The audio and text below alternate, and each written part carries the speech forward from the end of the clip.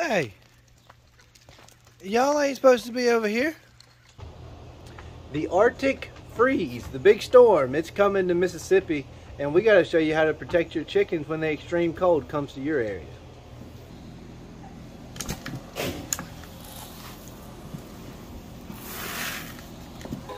Well, I made a mistake and I opened the gate and I had the bucket and the chickens ran to me. Oh man. All right, if you didn't know, first thing that you need to be worried about whenever you get your chickens ready. I'm not doing that. yes, you are. Nope. Yeah, I already got you. Get Look. these chickens in here. Yeah, well, you know what? we have to figure it out.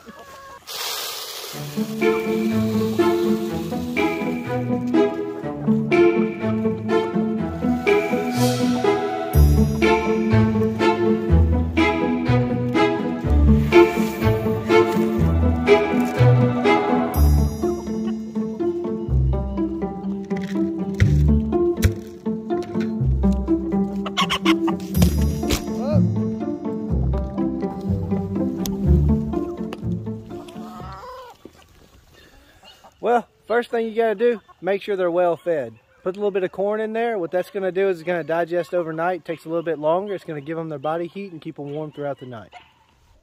All right, next thing you need to worry about, drafts. Any type of draft or air movement that could brush over the chickens throughout the night, give them frostbite on their combs and their feet. So we're going to close these windows.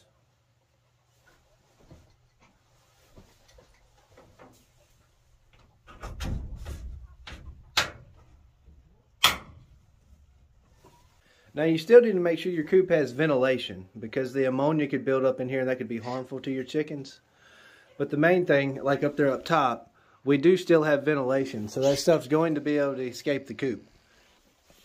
Next thing we're going to do is we're going to go grab some more bedding, and we're going to add more than we need in here, but we want to make sure there's no moisture on the ground inside the coop because that moisture is going to make it a little more cold in here than it normally would be.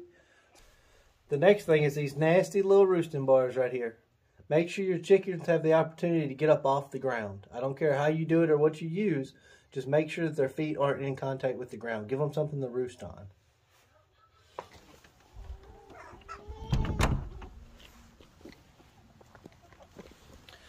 And the last thing, please do not put a heat source inside of your chicken coop.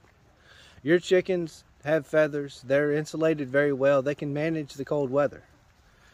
What you don't want to do is put a heat source in there, let it be 60 or 70 degrees in there, and then you lose power.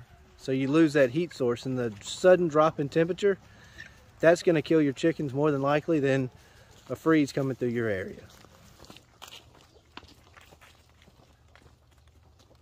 Oh, wrong way.